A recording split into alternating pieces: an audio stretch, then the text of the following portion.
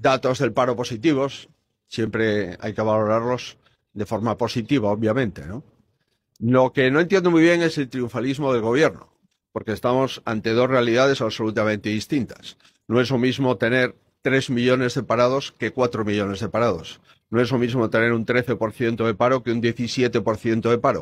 Y esta interrogante no lo plantea la oposición.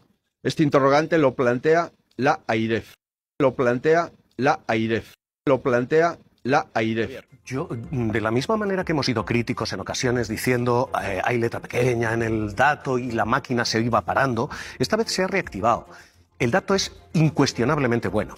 Lo que hoy ha hecho Feijo, vamos a ser críticos también con la otra parte. Primero es institucionalmente poco leal y segundo además es falso. Hoy dice que la AIREF está cuestionando los datos del empleo. La AIREF ha emitido un comunicado.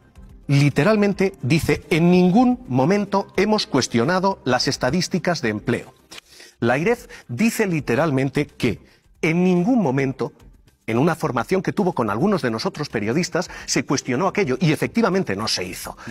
Y se está utilizando a la IREF para decir, no, no, es que los datos son falsos es que los fijos discontinuos en realidad son parados. Eso no lo ha dicho la autoridad fiscal jamás.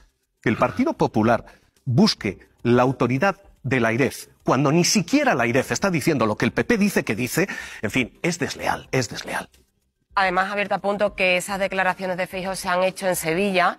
Creo que no le habrán hecho ninguna gracia al presidente de la Junta de Andalucía, Juanma Moreno, porque su gobierno, el gobierno andaluz, que tiene el PP con mayoría absoluta, ha emitido un comunicado congratulándose de que Andalucía lidera un descenso histórico del paro en el mes de marzo. Ya sabéis que estas cosas son así. Cuando el dato es bueno, todos se apuntan. También el presidente andaluz y el gobierno andaluz, como es lógico, ¿no? Claro, y hay cuestiones que pueden ser criticadas en esto. Lo que no puedes es cuestionar los hechos. ¿eh? Las opiniones son libres, pero los hechos son los que son y son indiscutibles. Los hechos son sagrados.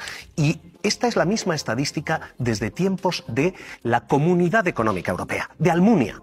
Estamos hablando de, es que 1996, cuando al gobierno le va bien, ¿eh? el Partido Popular no puede decir, oiga, esto no es verdad. Puedes buscar ángulos de crítica, los hay. Pero decir que no es verdad es negar la eh, ley de la gravedad. En fin, ahora mismo los datos son buenos, son los que son. Ya está.